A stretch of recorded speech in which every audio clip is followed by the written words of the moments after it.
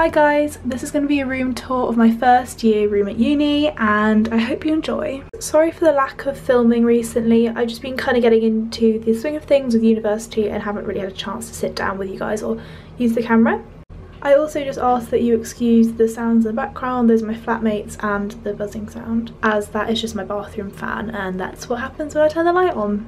Today I'm going to give you a really brief room tour so you guys get to see what my room looks like now I've moved in properly and as you can tell I've also decorated for Halloween. I'm not going to show you me today because I'm just in PJs and I've got my makeup off and I can't really be bothered to show you my face. So let's just start with the room tour. As you can tell that's pretty much my room on an overview but firstly we're going to head into the bathroom. So I'm just going to open my bathroom door. Here is my bathroom um, so yeah, very, very basic. Oh, you can see me. it's very basic. Uh, it's just basically a wet room, but I love it because it means that I can just have my own space and I can leave all my bits out as you can see over here and I don't have to worry about putting it all away. Um, and then I have a big plastic bin there for some bits and a big plastic, uh, like a smaller one there and they are both from Tesco's. And if you're wondering, this is where the shower is. Um, and then I also have a hook on the back of the door. Let's try and turn off that fan because it's just so loud, but you get used to it. Um, so yeah, this is my room. Uh, at the bottom of the bed just have my laundry, which is lovely, I know, and a big plastic box which I just put anything I don't really need at the time. This is my bed. I got my sheets from Debenhams and I think all the pillows are from Debenhams as well. Above that as you can see, I've decorated with pictures of my friends and I from back home. Got some Polaroids.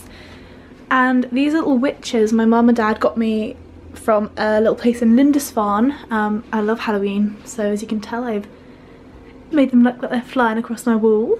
Up here is my alcohol and dry goods shelf, so I'm just going to stand on my bed so I can show you. So as you can see, I've got typical uni essentials, and then this little pumpkin with sweets in them and just some bits here that means I can save some space in my actual kitchen which I might show you at some point. and then up here I just have any of my bags that I'm not using at the time. As you will notice across my room here and here I basically just decorated the pictures otherwise I will show you guys maybe a picture on Instagram if you follow my Instagram how sparse and undecorated the room was and how I've kind of tried to make it really homely and cosy. Up here you can see I've continued my Halloween decorations and I've got two bats from Tiger and this Happy Halloween banner from TJ Maxx. Moving on, I have my postcard wall, uh, which is where my parents have sent me postcards from places they've been recently and so I can decorate my room with them a bit more. This is my desk area. You can tell from the row of books up here that I am an English lit student, um, but I keep it quite sort of formal because it's all my work up here and it's not very decorated as you can tell. I've got a few pictures occasionally. On my desk I've got my printer, my laptop, my coffee, my fruit bowl which seriously goes down so quickly. I just eat all the oranges and the bananas, it's ridiculous. My makeup, just this is all course books and stuff and then coffee mugs and things I haven't got space for in the kitchen. Yeah, that's about it.